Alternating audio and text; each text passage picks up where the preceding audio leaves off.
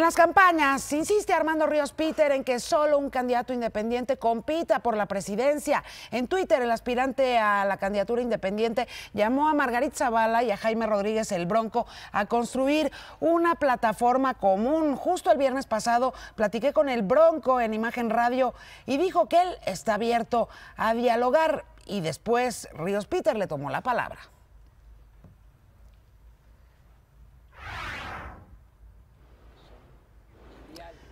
Andrés Manuel López Obrador hace un llamado al INE para que investigue una campaña en su contra. En Facebook, el precandidato de Juntos Haremos Historia afirmó que la guerra sucia se intensificó, pues ayer miles de ciudadanos recibieron llamadas y mensajes con la intención de provocar miedo. López Obrador eh, dijo que estará hoy en Tijuana y acusó al gobierno federal de querer repetir el fraude de 2006.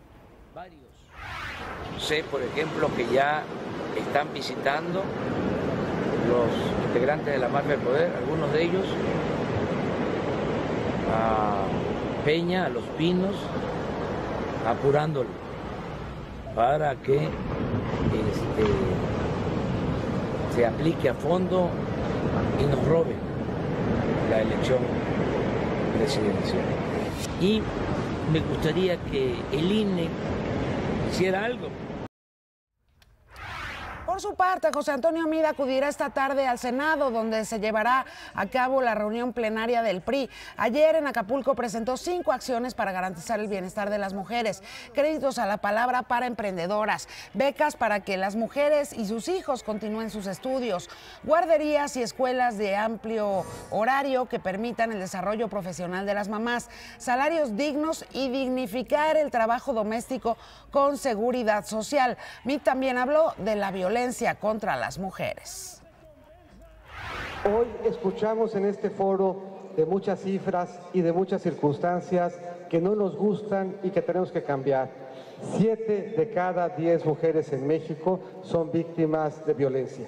Es una cifra que es absolutamente inaceptable, profundamente indignante y que no es compatible con el México que podemos ser.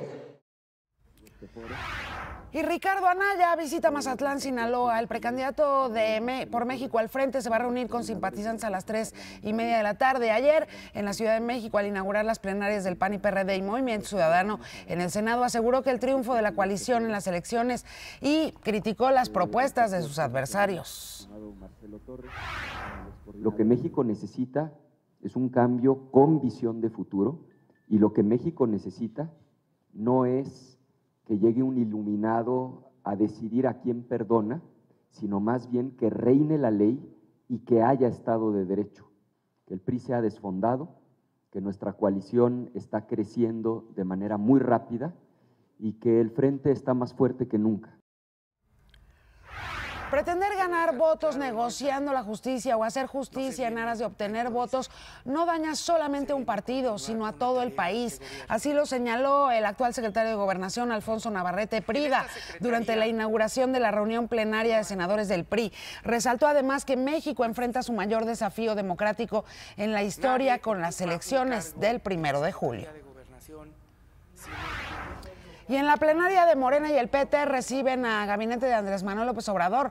La presidenta nacional de Morena, Jade Kolpolensky, aseguró que en su partido caben todos y que estaría dispuesta a recibir a integrantes hasta del Partido Verde en Chiapas si desean renunciar a su partido. Los senadores discutirán la ley de obras públicas y definirán la agenda legislativa. Mientras que en la plenaria del PAN hablaron del futuro del partido en las elecciones, aseguraron que trabajarán por alcanzar y rebasar a López Obrador en las preferencias electorales. Incluso pronostican que en cinco meses Anaya ocupará el primer lugar en las encuestas. Además hicieron un llamado a Segov a no meter las manos en la elección y garantizar la seguridad de los ciudadanos. Imagen Noticias con Yuridia Sierra, lunes a viernes 2 pm. Participa en Imagen Televisión.